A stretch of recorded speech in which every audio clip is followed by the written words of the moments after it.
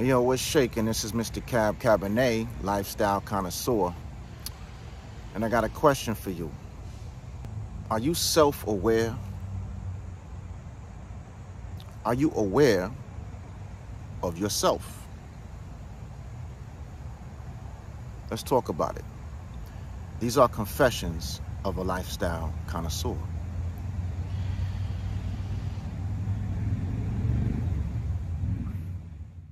Are confessions of a lifestyle connoisseur. These are confessions of a lifestyle connoisseur. These are confessions of a lifestyle connoisseur. I'm pretty sure you never felt this kind of.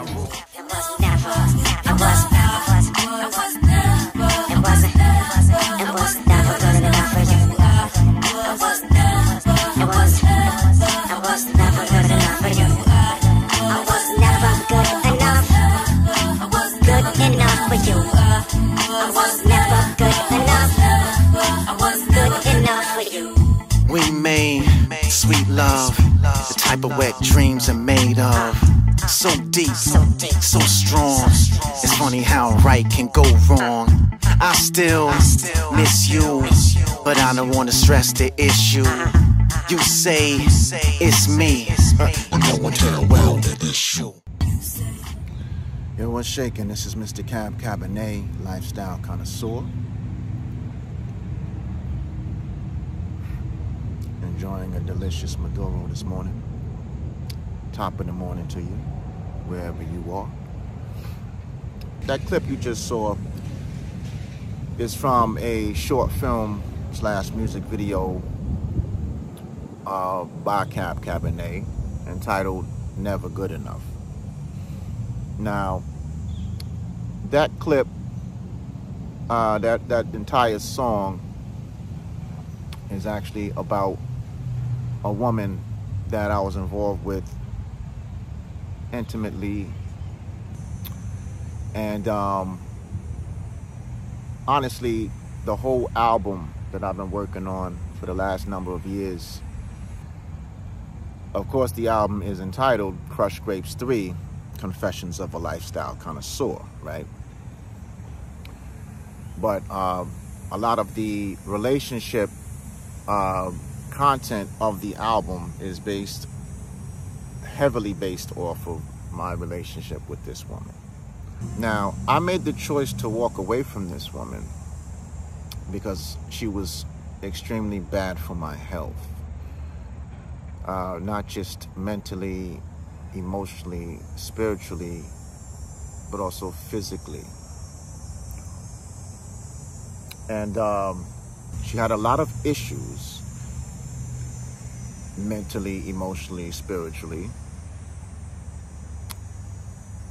And um, she's very unbalanced and chaotic, also narcissistic. And she refused to get the help that she needed to work on herself. Even though I tried to help her myself, I even offered to pay for, you know, clinical help. Of course, she rejected my efforts and told me that I'm trying to control her by by trying to help her. True story. Now, recently, this woman has expressed to me that she is now ready to do the work that I require in order to be in my life. So the first thing she asked me is, what, what do I need to do? And I told her, I've been telling you what you need to do for years. You just don't believe you need to do it. You don't believe you have the these issues and you don't believe you need to do the work. I've been very clear about what you need to do. You know what you need to do. You've even admitted this at certain points. But you just refuse to do it for whatever reason. Either you're not willing, you're unwilling, or you're just unable. But it all comes down to one thing. You're not self-aware. You're not aware of yourself. You're not really you don't have a, a, a clear understanding and comprehension of the issues you have and why you have them and how they're affecting not just your life but everyone else's life that is part of your life or in your life and the damage it's doing to your entire your entire world. And so of course her reaction to that because she doesn't respond. She reacts. She's triggered. It you know so her re reaction is you're you're guilting me. You're shaming me. You're blaming me. What about you and what you've done and what you do?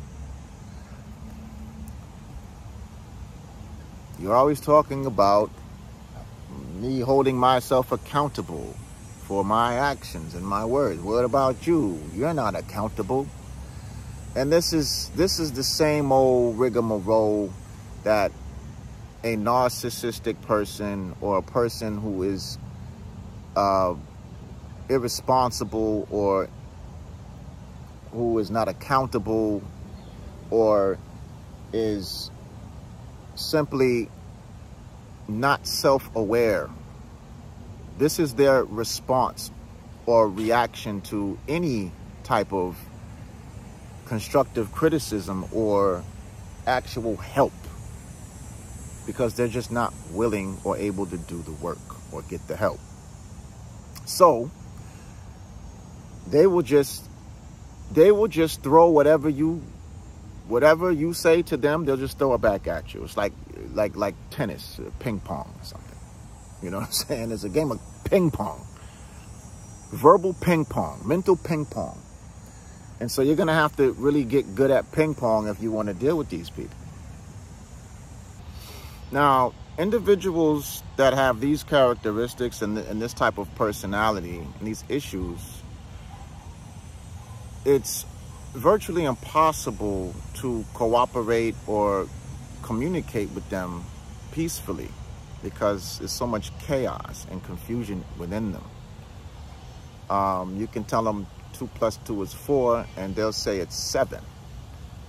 Okay, it, it, even if you show verifiable facts, data, you know, research, um, these type of individuals, they don't, they don't lie what they do is they create truths.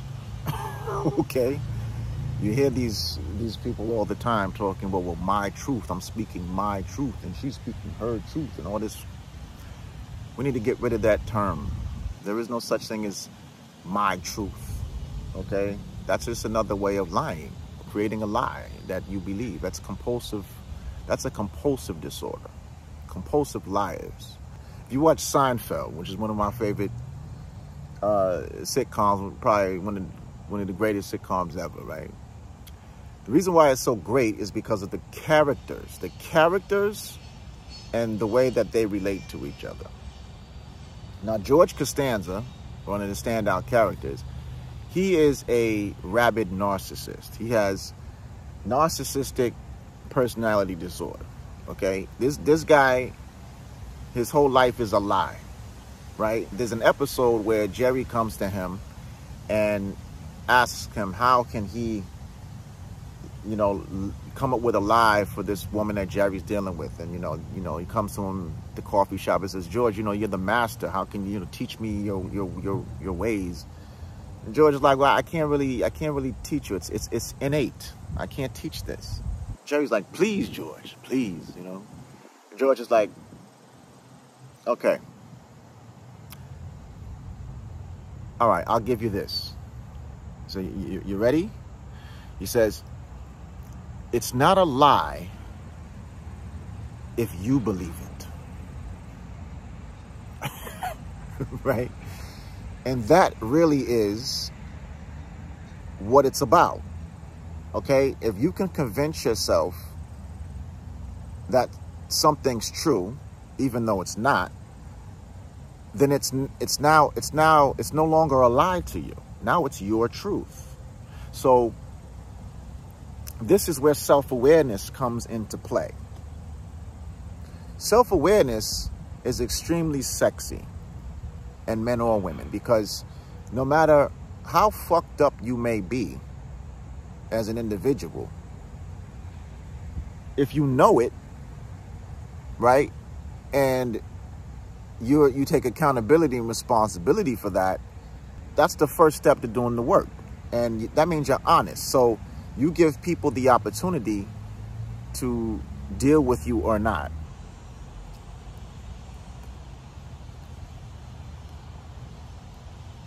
See, that type of person you can work with because you you already know what to expect. They're not these uh, chameleons behaving one way and then the next day another way. No, they are who they are. Okay, so you you can take it or leave it, love it or leave it, right? But when you're when you're not self-aware, you just create truths for yourself and truths for other people, and you do a disservice to yourself and and everything that everything in your life because everything becomes a lie. You're you're unaware of the lie because now it's true to you. You used to know it was a lie but now it's your truth. So when she asked me, what can I do? What, what, what do I need to do? I'm ready to do the work. I said to her, you need to be self-aware because I've spoken in great detail to you about what you need to do. There's nothing else I can tell you. It's the same thing. After all this time, you're coming back to me with, you know, with this, I'm, I'm ready to change business, but you're still talking the same way. So you haven't really grown at all. There's nothing. What do you want me to do? You want me to lower my standards? You know what she wants me to do, really? She wants me to, she wants me to lie to her. She wants me to tell her that it's me. It's not you. It's me. There's nothing wrong with you. Yes, you've grown. Everything will be fine. Of course, I will accept you back into my life. You don't have to change a thing. Well, Cab, what about you? You're never accountable either. No. I'm honest about who I am, what I am, where I am in life, and uh, what I want in life. I'm, uh, I, you know, I'm honest about my my failures as well as my achievements. When I make a mistake, I admit to my mistakes and I apologize with the intent of changed behavior. Because what is an apology without changing the behavior, right? So that's really all I got for you. You know, that's accountability. Accountability is not making some making someone else feel better about the mistake you made, right? All you can do is apologize and uh, not make that mistake anymore. But even if you make a choice, being self-aware that you could have made a better choice is being accountable. And if that person does not accept that accountability from you, you know, which is the ability for you to correct your own mistakes, then that's on them. There's nothing you can do for them. Nothing at all. Don't even hurt yourself trying it's okay. You did your best. And the rest is up to them. This is common sense stuff. But common sense is not so common with people who are unaware of themselves. They're unaware. They're not aware. They're unaware. So, what can you do when you care about someone like this and you want to give them another shot? What can you do? Well, you can give them another shot, but just understand that if they're not ready to be self aware, nothing's going to change. I've given this woman numerous shots, too many shots. Okay, and at this point, I can't do anything. There's nothing you can do because when I'm talking about accountability, she's still talking about, well, what about you? Guess what? I'm doing just fine over here.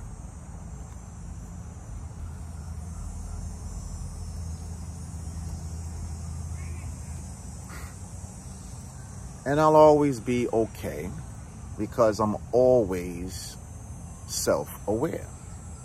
If something is not right, if something's imbalanced in my life, if there's some type of uh, something I need to fix in my life to move to the next level in my life or grow in my life, I'm on it.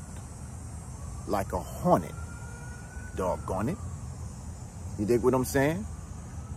Because I understand as a man of purpose and a man of growth that I have to be on it. I have to be accountable for myself because I'm accountable for numerous people. So if I'm not accountable for myself, guess what? Guess what? I can't be accountable for anybody. So I say all that, ladies and gentlemen, to say this. Self-awareness is sexy. Okay? Take stock of who you are every day. Try to live your life and do something every day that makes you better than you were the day before. Do one thing that makes you better than yesterday. If you do that, you'll always be self aware. You'll always be in a better position to grow into the best version of yourself. Self awareness. This is Mr. Cab Cabernet, lifestyle connoisseur. And of course, these are confessions of a lifestyle connoisseur. These are confessions of a lifestyle connoisseur. These are confessions of a lifestyle connoisseur. These are confessions of a lifestyle connoisseur. I'm pretty sure you never felt this kind